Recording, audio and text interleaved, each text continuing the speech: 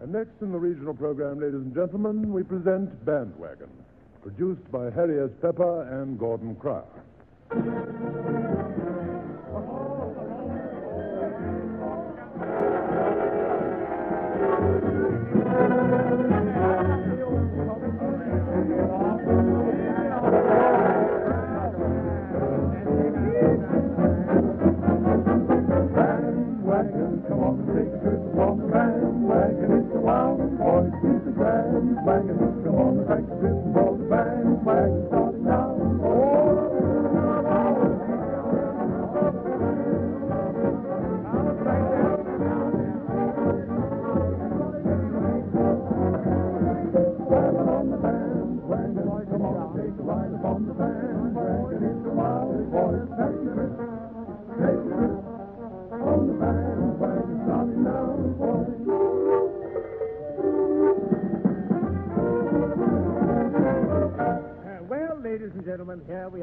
With another Band Waggon. Arthur's here beside me, but as usual, he's going to be late. What for? Uh, well, we always start that way. oh, yes, of course. Shall I go out again? Well, it might improve the show. Ah, getting half nasty, eh? Who's getting off nasty? You are. Listen, I'm I not. did- you I are. said yeah, that- yeah, uh, uh, uh, yeah. Big and stinker must agree like little birdies in a tree. Pretty, isn't it? Yes, ever so. Now, talking about birds, I was talking. I was talking to Northia last night. Shut up. I mean, your pigeons, Oh. Basil and Lucy. Now, there's the funny thing. I brought them down into the studio tonight. By the way, I haven't seen any of your other pigeons lately. Well, yeah, oh, uh, you mean Effie, Siddle, Claude, and the rest of them? Yes, they were all flying about the flat until a week ago. What's happened to them? Well, uh, don't you remember last week we were running short of housekeeping money? Yes. And on, uh, we had chicken rissoles you had last Friday.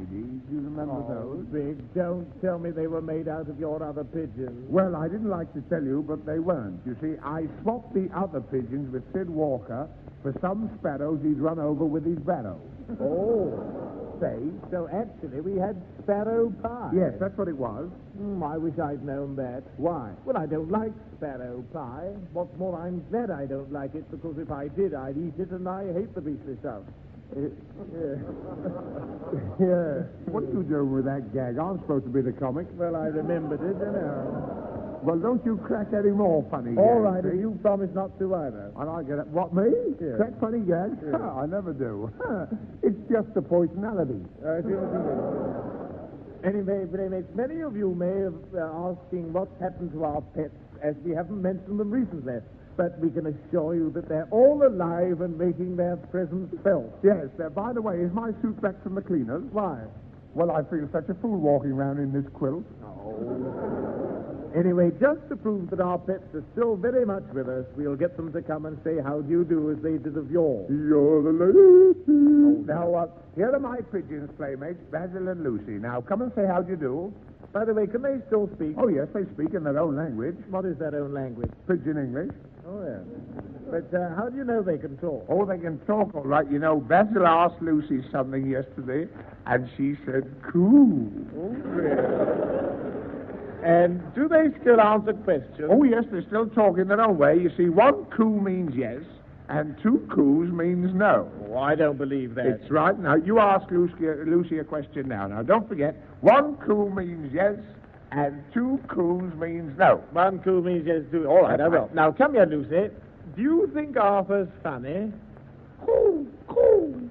Well, there you are. yes. She cooed twice. That means no. Oh, no, she didn't. She meant yes, yes. Oh. See? I know better than you do. Well, come on, Big. Get her to sing. Well, she hasn't been to her singing lessons lately, you know. She's had such a cold in the beak. Hmm. But, uh, you know, she's always a trier. Now, come on, Lucy. Well, I think she could remember who. You mean remember how, don't you? I don't. I mean that song from Sunny, you know, Who, by those two well-known English composers, Otto Harbach and Oscar Hammerstein. Oh, yes, I remember the thing, yes. Oh, yes, that's her favorite. Now, come on, Lucy. One, two, three, four. Stole my heart away. Makes me dream all day. Dreams I know will never come true. Seems as though I'd ever be. Brings my happiness. Oh, shut up, Lewis. What are you doing here? Well, as you brought your pigeons down, I thought I'd bring my goat Lewis. Well, who the blazes is looking after the flat? Oh, the flat will be all right. Lewis has only been out of it an hour. No one had dare go in. Oh, I see, yeah. I didn't think of that. Anyway, Dickie, what's Lewis's favourite song? Oh, that song about his mother. About his mother? Oh, yes. Will you sing it with him? Yes, but for the benefit of the listeners, I'm the one that sings first, you see. Now, come along, Lewis. Sing that song about your ma. Two, three, four. Who is it that you adore? Ma, More than roses round the door. ma, Who is it you'd sigh for? Who is it you'd die for? ma, ma, ma. Well, there you are, playmates. That was Lewis. And now you've heard our pets again. Yeah, oh, just- Dickie, you What? haven't, you haven't told our playmates yet. Oh, yes, we've got a surprise for you. Oh, you will be surprised. You may remember that Mrs. Bagwash had a bill in her parlor window for the pantomime, and she got two seats for the show. Yes. Well, she had another bill in her scullery window for the circus, and they sent her two tickets on the night she had to go to her sister Aggie's coming out party. Yeah, poor old Aggie. She was back the same night for knocking a policeman's helmet off, wasn't she? Anyway, we got the tickets for the circus, and this is where the surprise comes in. Oh, you will be surprised. Directly the clowns had finished their funny jokes, and Arthur and I had put our notebooks away. Yes. Those poor old clowns, Dickie. You know, they must have been very old. They kept falling over, didn't they? I Do you know, remember? wasn't it a Hmm. What was the next term, Dick? Do you remember? I forget. Oh, it was wasn't it that lady who stood on the clothesline drying her parasol? You fool, she was a tight wire walker. Oh, I thought I heard a hiccup. Yeah. Then there was uh, there was Captain Theodore and his untamable monarchs of the jungle. Oh yes, isn't your cousin something to do with that act? Yes, he, he was he's the back legs of Nero, the largest lion in captivity. Yeah. he fiddles while the front legs turn. That's right. And then came the big surprise. The band played a fanfare. yes, then a lot of men came in with influenza. What do you mean came in with influenza? well, they were all wrapped up in blankets, weren't they? Don't be silly. They were Arabs. Oh, I see. I And then the band struck up that well-known desert song, Oasis is a nice oasis, oasis. Yes. And who should come shambling into the ring but our old friend Hector the Camel? Yes. Oh, you could have knocked me down with a fender. And do you know, playmates? Could have done when the gag didn't go well, but you know, playmates.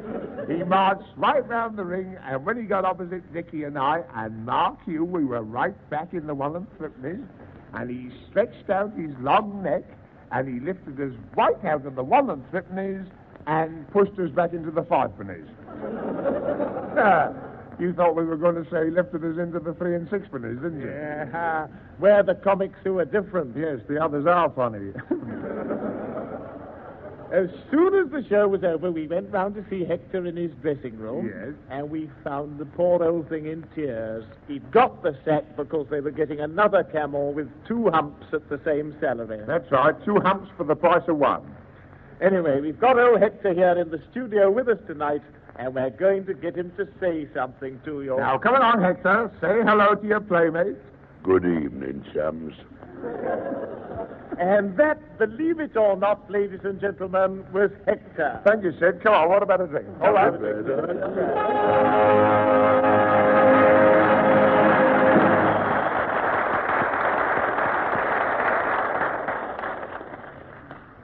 Here's George Evans with Miss Fetty's Jackdaws, Charles Smart at the organ, and the Band Waggon is directed by Phil Cardew to tell you how he's got a pocket full of dreams.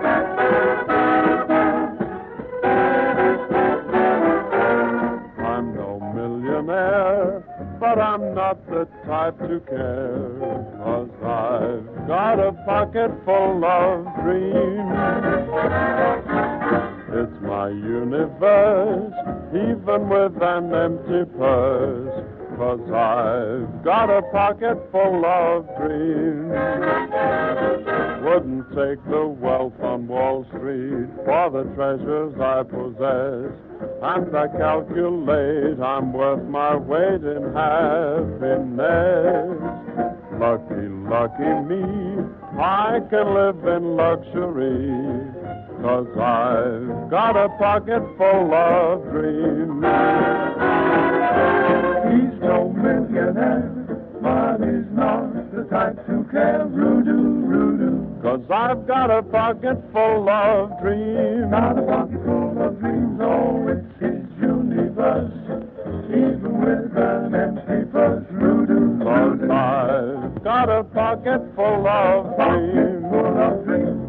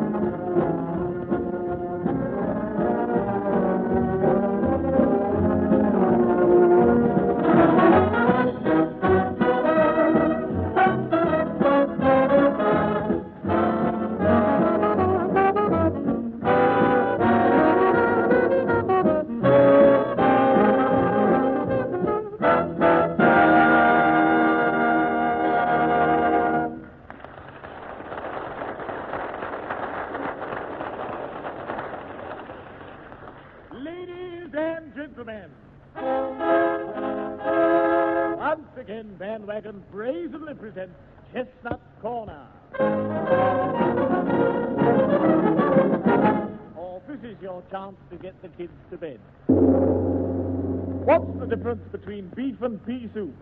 Hey, come along, Arthur. What are you doing? Oh, I'm sorry, uh, Stinker. What are you doing? Oh, yeah, I'm sorry. I was looking at my fan mail. Oh, anything interesting? Well, not much. There's a bill for a new cage bought. That new cage we bought for the pigeons, you know. Oh, that great thing I had to pull all the way home on Syd Walker's barrow. You had to pull. I like that. I was helping. Mm, I know you were at the back of the barrow, but I didn't feel I was getting much assistance from you. Oh, I was helping all right. Were you pushing? Yeah, no, well, I wasn't pushing, but I was sitting inside the cage carrying the perches. Oh, you silly little man. That's fair, isn't it? What does that postcard say? Oh, it's the same old story. Why is Richard Murdoch called Stinker? Oh. Listen, don't you think it's about time I told them? Yes, I think the time's about right. Don't you? Okay, then, yes, I think it is. but now you go upstairs and pour out our supper, That suits me. I thank you. Bye-bye. and I'll tell the playmates exactly how I came to be called Stinker. Well, now, so many people have asked me why I'm called Stinker that if you'll spare a few moments, I'll tell you as briefly as possible. In order to get the hang of things, I want you to cast your minds back a few years to the time when it all started, and this was when my uncle was staying in Paris.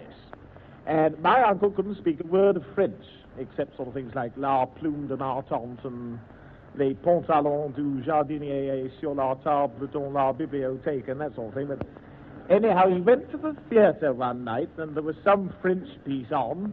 I think it may have been that thing that was broadcast a short time ago called La Rondine, and he thought it was something British and had something to do with La Rondine bridges falling down or something. Anyhow, he went to see this thing, you see, and he couldn't understand a word of it. And, uh, and when anyone else laughed, he laughed, and when anyone else applauded, he applauded, you see. And he got awfully good at this, and eventually he let out a shriek of laughter, and he found that he was the only person in the theatre laughing, and everyone else was turning round and staring at him, you see. And the man sitting in the seat behind him wrote something down in French on a piece of paper and handed it to my uncle. And my uncle naturally couldn't translate it, so he showed it to the gentleman sitting on his uh, his his left, and he got uh, very very annoyed and wouldn't translate it. You see, so he showed it to the lady sitting on his uh, right, and she also got extremely annoyed and slapped his face. So my uncle was in a terrible state about this. He didn't know what to do, so he got out of his seat and he went to the back of the stalls and he went up to one of the ushers. And he said, Usher, Usher, awful now. He said, uh, Would you mind translating what's written on this piece of paper, you see? And the usher took one look at the piece of paper and he got extremely annoyed and summoned the manager. And the manager came along and looked at this piece of paper, and he also got extremely annoyed and summoned the commissionaire and had my uncle thrown out on his ear. His left ear, I think it was. He got the marks to this day. And uh, he didn't know what to do, you see. My uncle was in a dreadful state at this time, you see. So he thought, well, he went back to his hotel, and he went up to the manager of the hotel. And he said, Now look here, I've got something written in French on a piece of paper which I can't translate, you see, and every time I show it to anybody, they refuse to do it. So, do you mind telling me what this means, you see? And the manager of the hotel looked at the piece of paper, and he got extremely annoyed and had him thrown out of the hotel. So my uncle by this time was pretty well frantic, you see, didn't know what to do. So a very bright idea struck him. Now, he had a very old school friend of his who was living in Paris. He was a Frenchman, as a matter of fact, a French nobleman. His name was the Comte du Verrières. And uh, he rang him up on the phone and he said, Now listen, that old boy, he said, you and I were at St. Wasps together and we used to stay with each other's people in the halls and all that sort of thing. He said, Now, you're my oldest and greatest chum. He said, I've got a problem here. I've got something written in French on a piece of paper which nobody will translate to me. I want you to promise here and now on the phone that you will come round to my hotel at four o'clock this afternoon and tell me exactly what this means. Now, no mucking about. Will you do it, you see? And the Comte said, I promise. At least he said, I promise, because he was a Frenchman, you see. and so at four o'clock that afternoon, the Comte arrived at my uncle's hotel, and uh, he was ushered into his room, and they shook hands and sang their old school song, and he repeated his promise, and my uncle thought, ah, at last I'm going to know what this is, you see. And he put his hand in his pocket to get out the piece of paper, and he found he'd lost it. And that is actually why I'm called Stinker, and now Phil Cardew and the Wagoners with Mr. Jackdaw.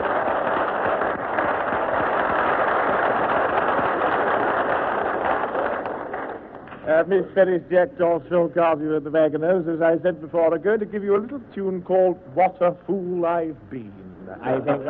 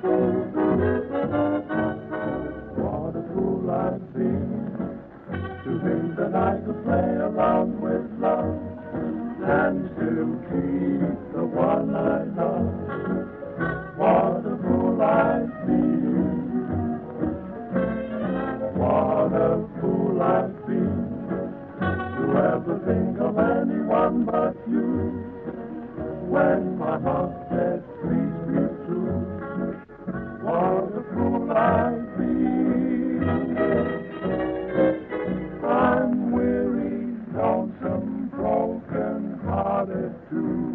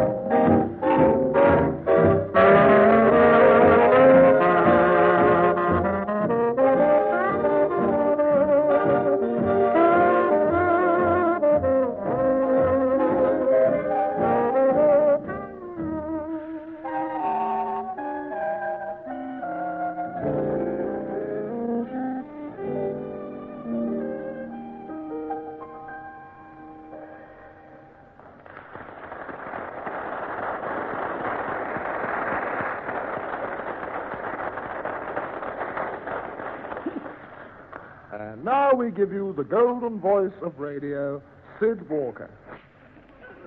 It's funny how our wandering junk man with his warm, lovable personality is always getting dragged into other people's worries and troubles and problems which he sometimes finds difficult to answer. So each week he brings one to you to ask you what you would do. He needs the help of every one of you, so don't forget to send in your postcards. What would you do? That's what Mr. Walker wants to know. And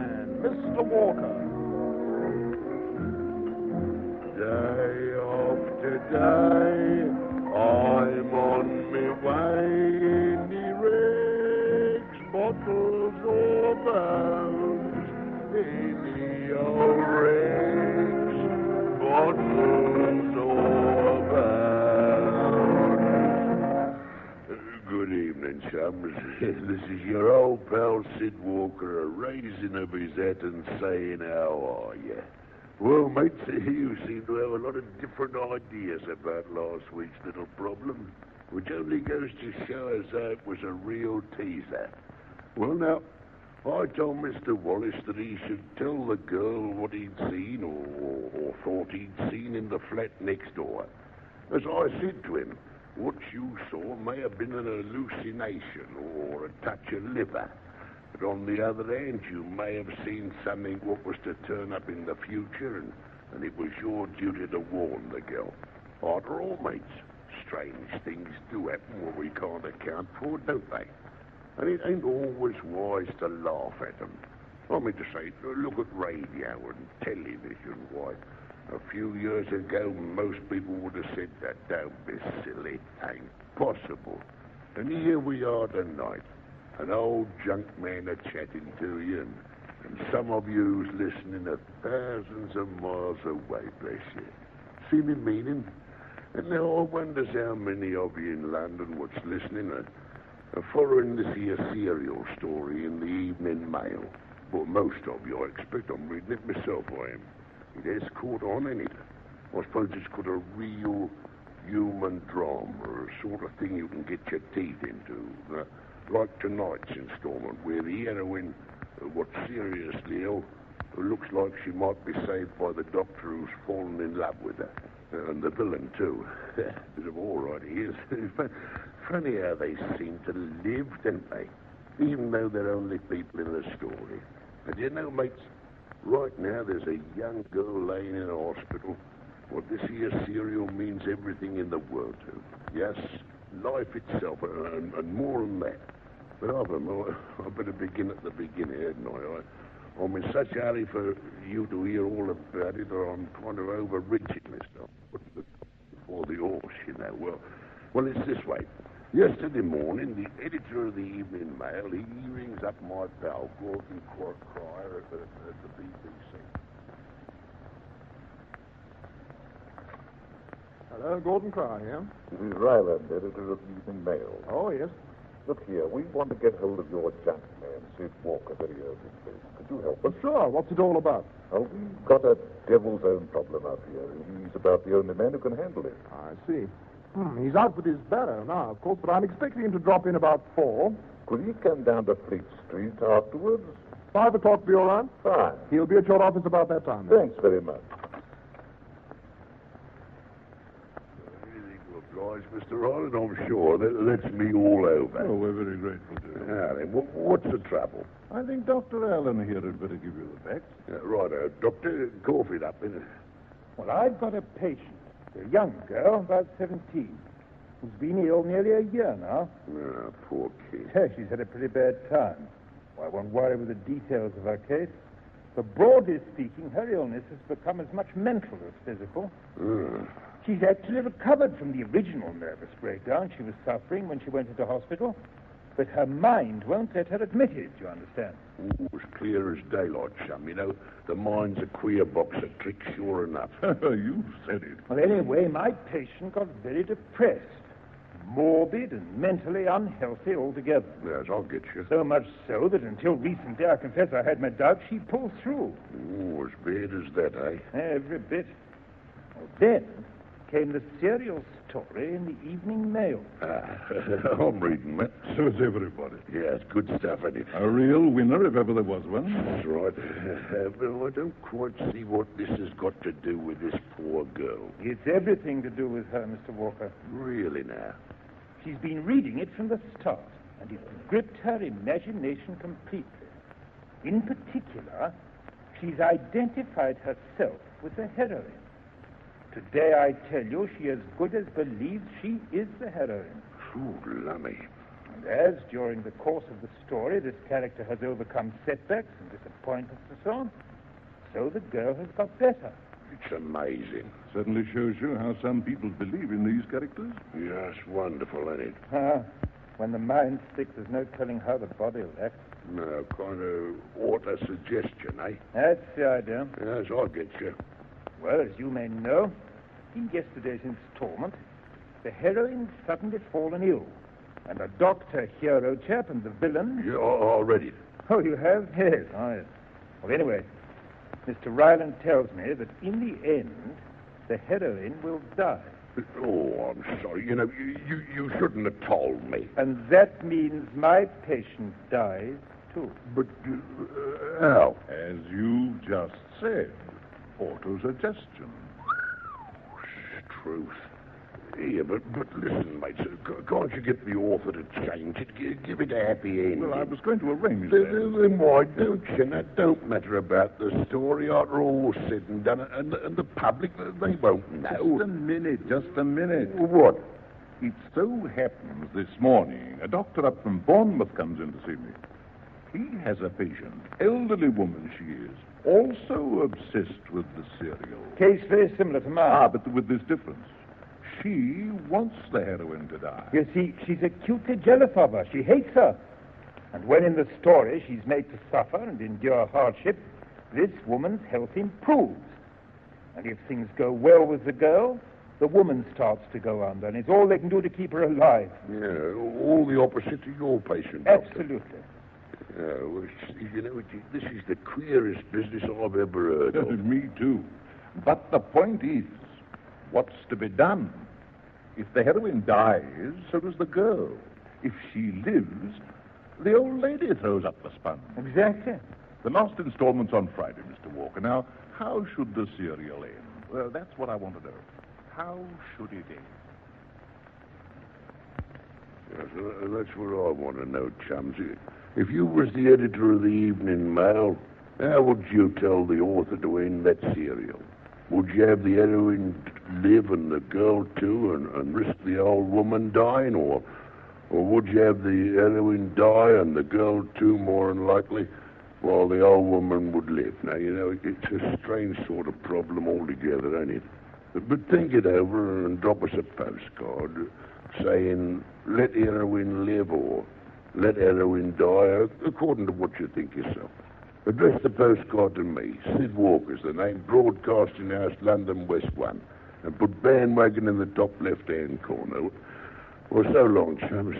Duck, I do drop against some balmy things, don't I?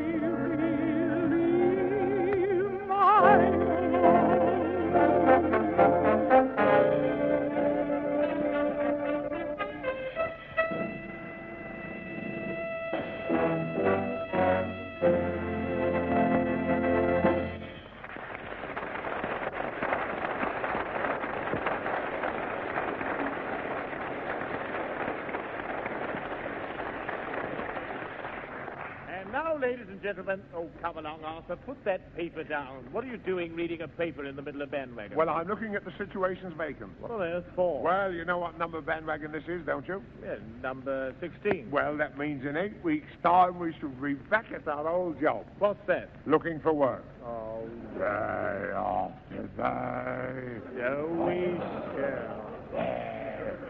Well, you know, I hadn't thought of that big. No. Have you got your cards stamped up to date? Yes, all the stamps are up in the top left-hand corner. Mm, But this is a serious matter, Big, you know. Have you got anything put by for a rainy day? Well, I could spend the weekend in Manchester. Could you? Yes, just about. You know, we ought to have a sideline. Oh, what do you mean, sideline? Well, I've been thinking. People have got to eat. Oh, oh, this is going to be interesting. Draw up your chair, Grandfather. Well, why shouldn't you and I start a restaurant? Yeah, but I don't know how about it. Well, I do. I know all about it. Yes, but I can't cook. There's no need for you to cook. You can be the waiter. Oh, who, me?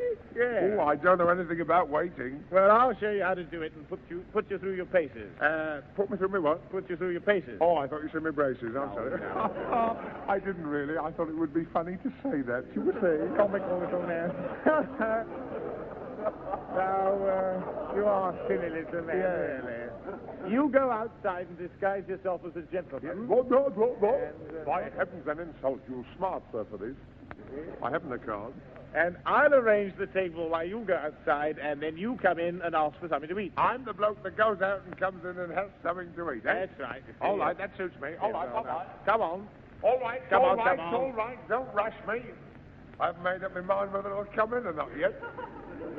I've a jolly good mind to go to that other cave across the road. Cave? Cave, restaurant, place de manger, cocoa rooms, or what have you. I haven't. You haven't, right, share them. Well, come on now. Don't lark about. Don't laugh about. All right, I'm coming in. Oh, blow it. What's the matter? I'm trying to shut this revolving door. Whoa! Well, what have you have you shut it? Yeah, I've shut my finger in it. Well, now come on, hurry up. I'm the waiter and you're the customer. I'm the, you're the waiter and I'm the customer. That's oh, right. viva voce. Right, now you're the waiter. Yes. Uh, you, you're still the waiter? I'm the waiter. Well, wait there till I come back. Oh. I say, fella, Yes. are you the same waiter two minutes later? Yes, sir.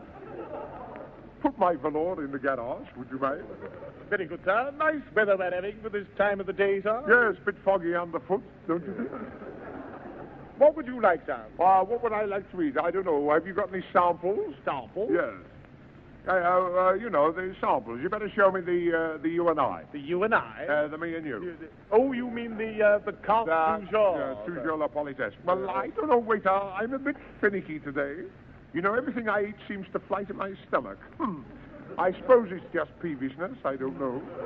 Perhaps you'd like something to tickle your palate. Oh, but my palate's not ticklish. Oh, there you go again. May I suggest something, sir? Oh, do, oh, do, oh, do, oh, do. Danny, Uh, penny. Oh, do.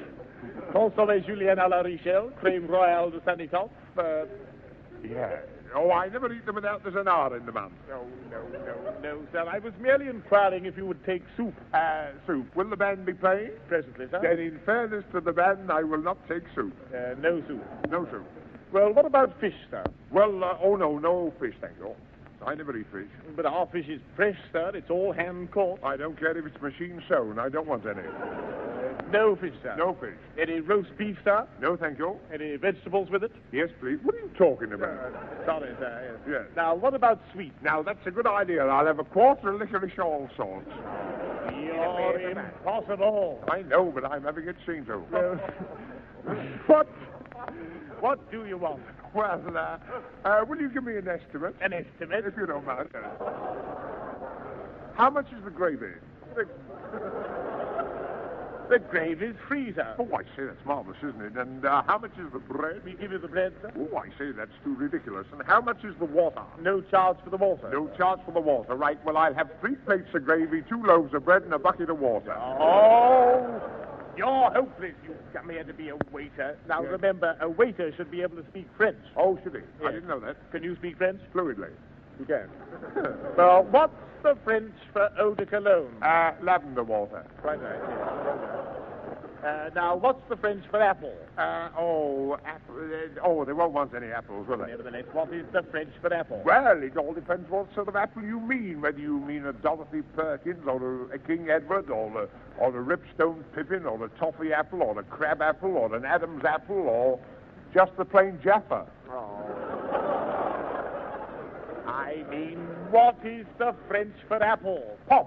Right, two apples. Pom pom. Stop me before I say three. Yes, Dad. Come on, I'll be the customer and you'll be the waiter and see what sort of a mess you make. oh, all right. Now, uh, I- I'm the waiter this time, and Yeah. you're the man what comes in and has something to eat. That's right, yes. You'll be lucky. Now, this is, uh, this is me coming in. you amaze me. Good morning. Good gracious. That's witty, isn't it? Brilliant. Do you serve lobster? We serve anybody, sir, you see. I knew the answer to that one, didn't I? Well, I want something to eat. On a plate and in a nose bag. I'm so hungry I could eat a horse. We've only got the duvers. Well, have you any soup? Soup? Wait a minute. Here, you can't rush me like that. We've got to come to some arrangement first. Do you want the ten and sixpenny luncheon or the half crown special? Oh, the half crown special. Oh, right you are. It's the same thing, only I've got to take these flowers off the table. Well, have you any soup? Uh, have any soup? Now, let me see. I'll have to ring up the head office and inquire. Hello? Give me Welbeck double four six eight. Yes, six eight double four. Hello? Is that Museum treble O one three? Oh, put me through to the catering department, will you? Oh, is that you, Charlie? Look here. Have me any soup? Yes, yes, yes, yes, yes, yes, yes, yes, yes. No. Would you like some porridge? No, I don't want any porridge. I want some soup. Would you like noodle poodle or cockadoodle? Well, what's the difference? There is no. What, no difference? No, no soup. Would you like some tripe? Yes, I'd like some tripe. Right, George, switch on the wireless, will you? There's an old friend. Ah. They get in for nothing and laugh at us. Go on. Come here. I'd like some fish. You'd like some fish. Would you like boiled fish or fried fish? Because if you have fried fish, you must have chives. Well, have you any fresh salmon? I think it'll be fresh, sir. What do you mean you think it'll be Oh, fresh? we don't know till we open the tin. Oh, Well, what game have you? Well, there's a halfpenny board on the counter and a dartboard in the long bar. Look here, what have you got? Ice cream, Sundays? weekdays as well. Chicken? Yes, dear. Oh, I think I, Have you got a chicken? uh, well, we haven't got one in the shop, sir, but there's one in the garden next door. I'll go and knock that off for you. I won't be a minute, sir. Oh, here you are, sir. Here you are. What on earth is that? That's an Abyssinian partridge. Do you like it? Take the beastly thing away. Take it back to its mate. Oh, I can't do that, sir. Why not? It's a widow. Oh. Well, what sweets have you got? College pud. Is the food good? Oh, very good food. Well, I have a small portion. One four cold pud coming up, sir. Here, are, sir. There's the college pud. Oh, I say this is a very small portion. Well, it's a very small college, sir. It's almost a prep. Well, what college is it? Wait a minute. Eton. Oh. This is dreadful. Where's the manager? He's gone out to lunch, sir. Well, that's where I'm going. Uh, before you go, sir, remember the waiter. Remember the waiter. I shall never forget you. I've only got two words to say to you. And them is, Get out. and I've only two words to say to you. And what are they? I'm going. Oh, I've been wasting my time. And I've wasted mine. I really don't know what to do. I'm fed up with your chatter. Well, I don't suppose it'll matter. I- I've been wasting my time are you?